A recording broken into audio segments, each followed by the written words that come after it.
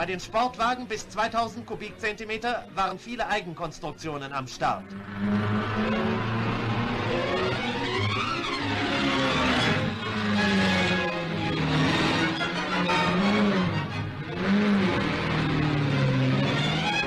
Ein Sturz, der aber noch glimpflich für den Fahrer ablief.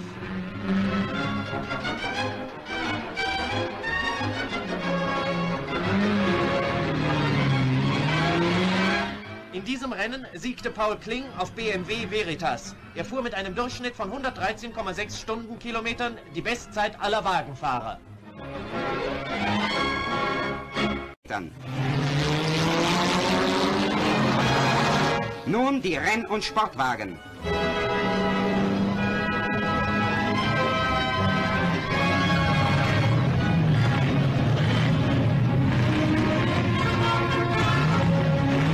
Schnellster Fahrer des Tages war Ries auf BMW mit 99,2 Stundenkilometern.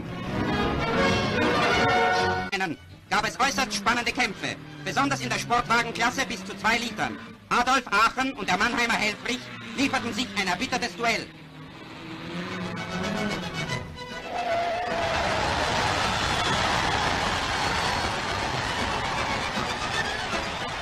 Ein dramatischer Zwischenfall, aber es ging noch einmal gut ab. Sieger wurde Helfrich Mannheim mit einem neuen Klassenrekord von 162,8 Stundenkilometern.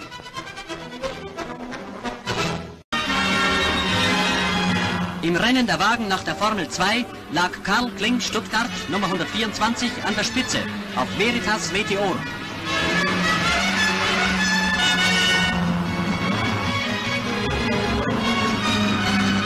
Kling fuhr mit 203,8 Stundenkilometern den besten Tagesdurchschnitt.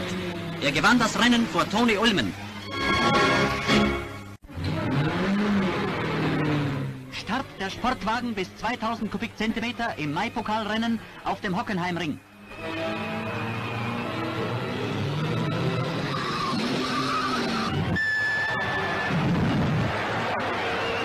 Ein Zwischenfall, der glücklicherweise harmlos ausging.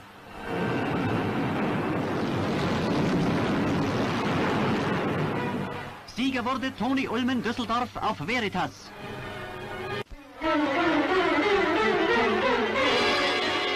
Nach 13 Jahren stand die Avus wieder im Zeichen eines großen internationalen Rennens. Hunderttausende säumten die berühmte Berliner Rennstrecke. Der Meisterschaftslauf der Formel 2 Wagen ging über 25 Runden gleich 207,5 Kilometer. Vom Start weg übernahm Paul Dreifzu auf BMW Eigenbau die Führung, hart verfolgt von Toni Ullmann auf Veritas. Die gewaltige Nordkurve am Funkturm zeigt die Kurventechnik der Fahrer aus sechs Nationen.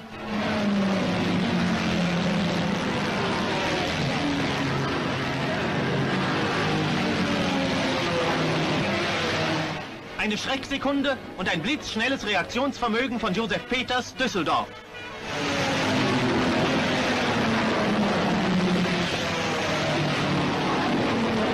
Immer noch halten Greif zu und Ulmen mit mörderischem Tempo die Spitze.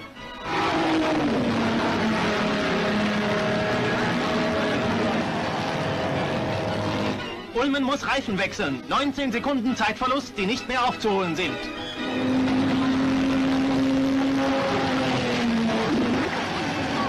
Mit einem Kilometer Vorsprung geht Paul Greifzu durchs Ziel.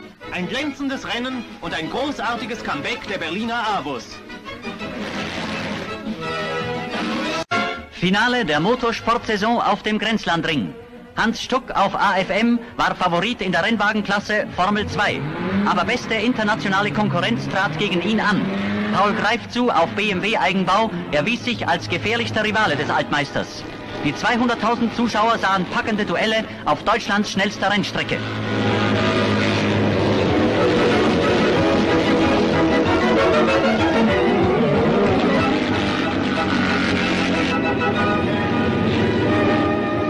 Hans Stuck fuhr die zwölf Runden wie in seinen besten Tagen und siegte, gefeiert und bejubelt, mit einer Durchschnittsgeschwindigkeit von 206,3 Stundenkilometern.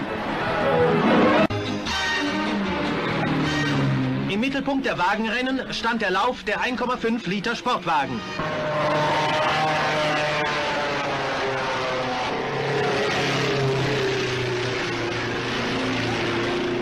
Ein aufregender Zwischenfall.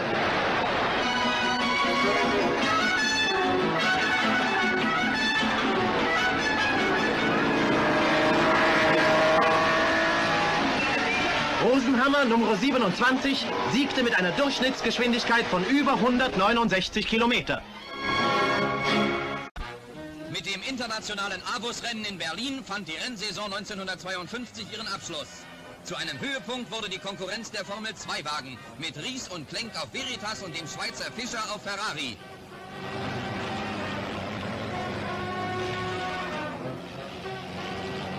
Siebenten Runde jagte der Schweizer Nummer 119 auf und davon, ließ seine Verfolger buchstäblich stehen und begann das Feld zu überrunden.